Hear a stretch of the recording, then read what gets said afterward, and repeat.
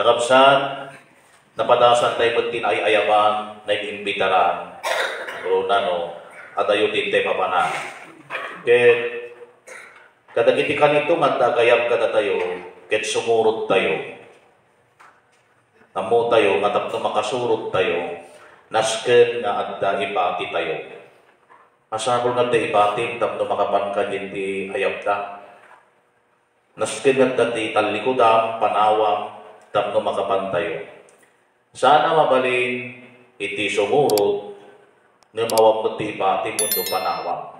Mabalin, ayaw ba, ti sumurot nga wag ti ipati mundo panawam. Adda nga adda mabati, Rad duma pasaray dagiti napatid ka na tayo, ibati tayo. Agapurod ka, napatid ni pamilya, ibati. At da ibati tayo, tunggal, desisyonan tayo ni sumuro. Iti may isa nga tao, kuno may isa nga awag, imbitasyon.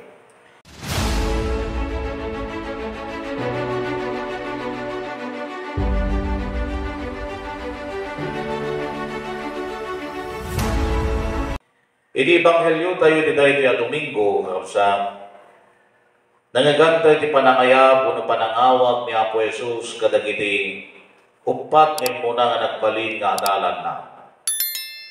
Tinapot na, tinapalabas nga laldaw, isuda dagitoy dagitay pinili na Apo Jesus manipod kadagiti adu nga adalan na kit pinagbalin na nga apostol na.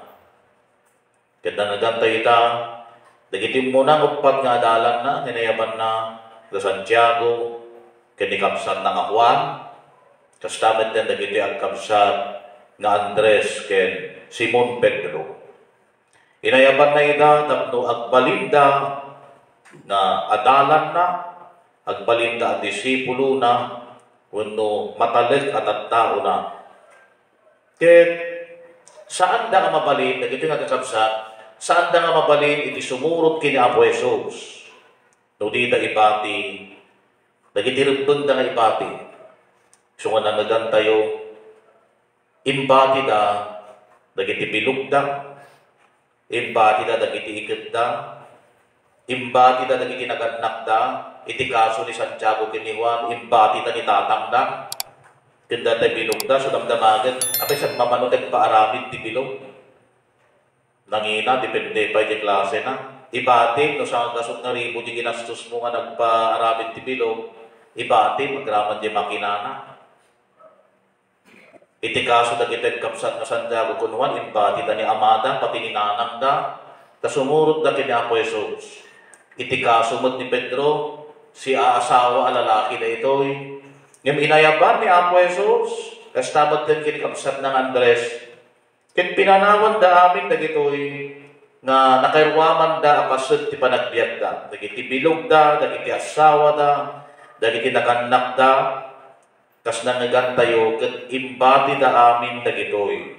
Anapatek apasod ti panagbiag da. Amin ang nakairwaman da, imbati da. Tapno sumurot da iti daytoy lalaki nga pagamuan ket bigla nga nagadda ti higit ti baybay Alakad na kayo mamad, at pagpag-ut kay di gamad, bagamuan at nalalaki ngayon may surutun dam, kung nanakin ka, sumurot ka araw.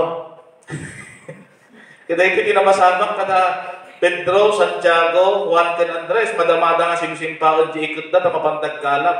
Pagamo na dalalaki nga di damam mo, matiddag ti buhok na. Surutun da, kung pagbalinin kay nga mga alap ti tao. And could see, the presentation ni San Mateo, very abrupt, Imakdir da nga sikot, pinanawan da ni Amada, pinanawan da di Bilog da, pinanawan da di Ikit da, amin amin. Tapno sumurot da iti ito nga tao, ito nga lalaki nga di pa nga amun iso ni Apo Jesus. Kapsan da Pedro, Santiago, Juan, ken Andres, iso da dagito dagiti lalaki at taga Galilea. Eh, taga Galilea, ket iti nukikitaan tayo, da ito'y ili da nga Galilea, probinsya da Galilea, daytoy iti amin iti panagbiag da Pedro ni Juan ni Santiago kini Andres daytoy iti amin amin da ti panagbiag da ngem imbati da pinanawan da daytoy a Galilea nga mangiladawan iti pagtaytayekan ti panagbiag da, ken amin anak kay kerwaman da. Anya iti Galilea, kita untay man tinumunag nga kay papanan, dahil Galilea uh, na nangagantay. Ti Galilea, ito muna may basa manipod ti libro ni Propeta Isayas. Kuna ni Propeta Isayas, ti Galilea ket lugar dagitigang gannaet. Lugar dagitigang gannaet. Iti Ebanghelyo, iti translation na kunana, lugar apag na edan dagiti hente. Lugar dagitigang gannaet kuna ni Propeta Isayas lugar apak na edan. No kunate nga ganggan na et uno hintil nga may iti Biblia. No hintil uno ganggan na et. Isu da ito dagiti tattao asaan a maibilang at tattao ti Diyos. Isu da dagito dagiti tattao a naisina kini Apo Diyos. Naroon tinawag ka kay papanan ti Galilea, iti da ito naibasa ita. Iti suda ito ti lugar apak na edan dagiti tattao asaan a maibilang ako kwa ni Apo Diyos. Tagattoy ni Pedro, ni Santiago, ni Juan, kini Andres. Kit kuna ni Isayas, dagit dito, dagiti, dito ti pagnangadan, dagiti tattao, nga di kasinnetan. Kaya sa wanda kiti tattao, anay sina kini Apo Diyos, at dada amin dito Galilea. Kit dito ti kay papanan ti Galilea. Pan nakaisina kini Apo Diyos. Kakamsan amuen tayo nga sipot pa'y inidamo, Kas kuna ni San Pablo, pinili na tayo ti Diyos akas kukwa na. Tattao na tayo ni Apo Diyos, iti paraswaan na tayo ni Apo Diyos, ti panggap na tapnog balin tayo ako kwa kat tattao na. Dahil ito tinaindaklan na panggap ni Apo Diyos. Kukwa na tayo ni Apo Diyos, sipot pa itidamo. We belong to God, and God is ours. Kukwa na tayo ni Apo Diyos, kukwa tayo ni Apo Diyos. Dahil pinagdakla na pribilehyo ngayon pa niya Apo Diyos kada tayo at tao. Nakbalintay ako kwa na ken kastamit ten kukwa tayo met tayo a Diyos. Ngayon, iti panaglabas ti panawan, nagbalin at taga Galilea. Nagbalin at taga Galilea. Kaya nasa wen, nagbalin tayo at tao, anaisina kini Apo Diyos. Gapo iti kinasukir tayo, amay pakita kadagiti na duma-duma amaris when kita ti kinadakes nga aramiden ken inaramid tayo ti panagbiag tayo. Dagiti kinatangken ti ulo tayo nga may pakita babaan ka dagiti dakes nga aramid tayo. Dagitoy tinangisina kada tayo kini Apo Dios ket nagbalin tayo at taga Galilea. Nagbalin tayo agang gannaet. Nagbalin tayo at tao nga awan kay karkaryan na kini Apo Dios Nagbalin tayo at taga Galilea. Nagbalin tayo agang ganaet kini Apo Diyos. Napukaw titunos tayo, itibagbagi tayo. San Pablo, kuna natin may kadwa may basa, titunos na patiglaunay. Ngam napukaw tayo atunos, iti kinatao tayo. Kaya trinamaram naman, no napukaw titunos, iti kinatao tayo. Mapukaw mo automatically titunos tayo kini Apo Diyos. Ken kastamatan, rama-ramag naman asaksagan na dadaulan titunos tayo ditong galmaysa. Tahap mo nga may tantawan king ka. No nagulo ti kinataong kasano mga mga naayos pa ti relasyon tayo ti pata nga tao kung kastabot ten kini Apo Diyos. Dahil napukaw atunos, nadadahil atunos ti kinatao tayo, rinamaram na nga sinagsak at dinadahil titunos tayo iti tunggal maysa Isot ka po na nga, adakad ta nga na ulbod a tao. Adakad ta nga na switig a tao. Adakad ta nga na agong a tao. Adakad ta nga na derep a tao. Adakad ta nga na aron a tao. Isot ka po na nga di nga nakaadal. Di ba nagbiag na? Adakad ta nga na tangkad ti ulo na. Tinagin kita tao nga na igamal iti bisyo. Na naduma-duma akita nga inkalkalintigan tayo, inkalkalintigan tayo, nagsipod ta kuna tayo, tinapatid kat tayo dahil aramidin tayo, awan ti badbaddekan tayo, ngarot gusto dahil kay aramidin tayo, tamaliliwa tayo.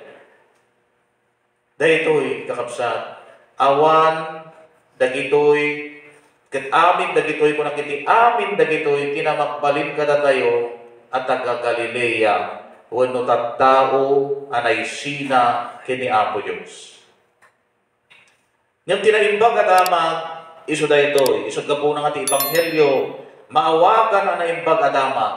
Tanangagantayo iti iti nga Domingo, ni Apo Jesus, of all the places in Israel, tinapanan ni Apo Jesus kas nangagantayo ti Galilea.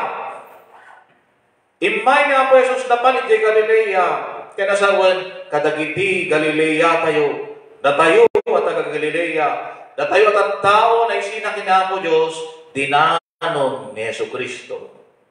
Imay na Apo Jesus. Sana tayo nga binaybayan dahil a Diyos, sakas kuna dagiti mason. Nga kunada, ni Apo Diyos, di pinarsuan na tilubong, pinanawan na. Yung nangagantay ni dahil nga Domingo, ni Yesu Kristo, saan tayo nga din tinapintas, tinapanan ng lugar, napan iti Galilea, tamapan nakitaan dagiti tao anay sina kini Apo Dios. Imay kada tayo.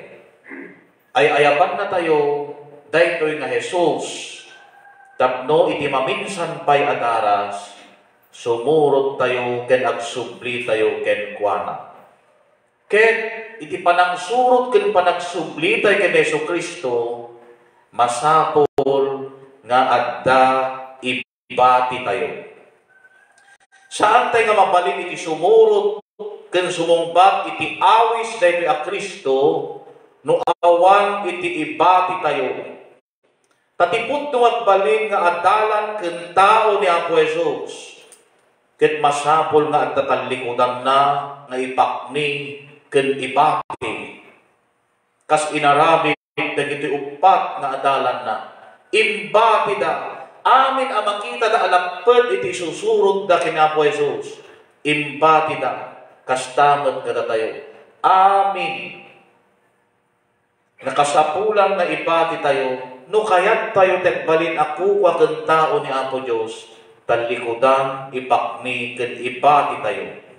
Isuda dagitoy dagiti dakes na kababalin, mabalimpay nga tao, mabalimpay at trabaho, Ano kas pangarigan, no day ka trabaho, pagbalingan na kangadakos a klase ti tao, kaya sa unday ka trabaho, lapad day ta, tipad day ta, ti asinag mo kiniapo Diyos. Panawam, ket agbiro ka ti sabali. Alam ko no ti trabaho, magkadiler ti sabo. Ang paiso nga, dakartam, Ngam iniya tayo na kakiniya po Diyos deta. Ko deta trabaho kat pagswitikan na ka, panawam. Talampot deta tiya sinig mo kiniya po Diyos. No deta asawa, tiga puna, nga dimakas ka klase ti tao, panawam. Liklikam. Isong ka po na nga ti panakasawa kat sakramento. Takay na sa uwan, ti sakramento ket iladawan na ni Apo Dios ket dumakita da ti relasyon da kita tao masinda kini Apo Dios ngem sika nga mismo nga naki asawa immadayo ka kini Apo Dios gapu ti asawa. Panawa. Boy bagbaga nga mabalin ti divorce ti bagbagat ditoy liklika panawam amin nga makatipid king katiasideg mo kini Apo Dios No dahil ka nobyong Tiga po na, na di ka magtun umasudad kini Apo Diyos. Isu na magtin tinangilaw-law kin kagat mangiparit pa ikin kang mapan makinisa, panawam day taatao. Baliwan na pay relihiyon mo, panawam day taatao. Taday takat agbalin, amin nga tipid, iti payasidid, takat panakayat, tayo ni Apo Diyos. Panawam. Dahil ito iti awis ni Apo Diyos. Iba atin.